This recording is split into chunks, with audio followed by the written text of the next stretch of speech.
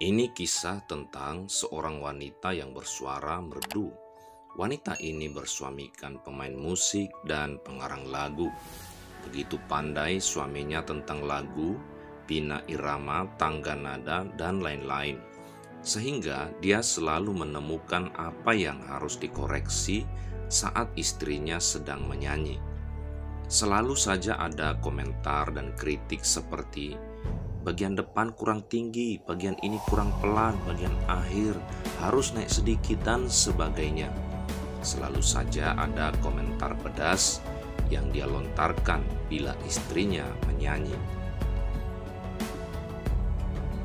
Akhirnya sang istri malas menyanyi karena apa yang dinyanyikan selalu ada yang salah. Jadi, dengan begitu selalu timbul pertengkaran. Singkat cerita, karena suatu musibah, si suami meninggal dan si wanita akhirnya menikah lagi dengan seorang tukang ledeng yang tidak tahu menahu soal musik. Yang ia tahu istrinya bersuara bagus dan dia selalu memuji istrinya kalau bernyanyi. Saat istrinya bertanya, "Sayang, bagaimana laguku?"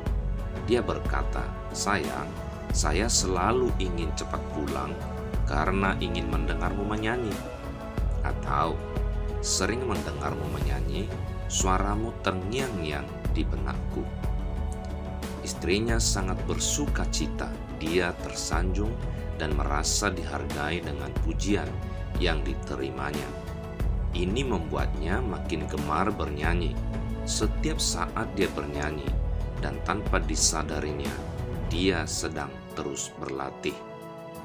Suaminya mendorong saat dia mulai rekaman dan mengeluarkan karya pertama yang disambut baik oleh masyarakat. Wanita ini kemudian menjadi penyanyi terkenal bukan pada saat bersuamikan almarhum yang ahli musik, tapi saat bersuamikan seorang tukang ledeng yang memberinya support dan pujian saat dia menyanyi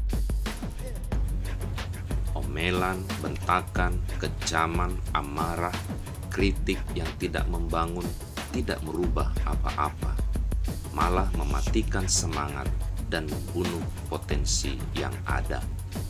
Tapi sedikit pujian dapat memberikan rasa diterima, semangat, dan dorongan untuk melakukan hal-hal yang lebih baik lagi. Sedikit pujian juga dapat membuat seseorang meraih prestasi tertinggi yang bisa diraihnya.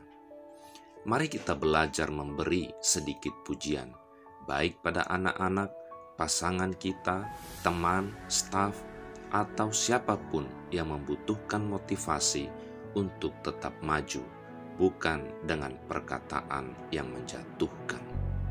Kiranya kita bisa terus membangun satu sama lain.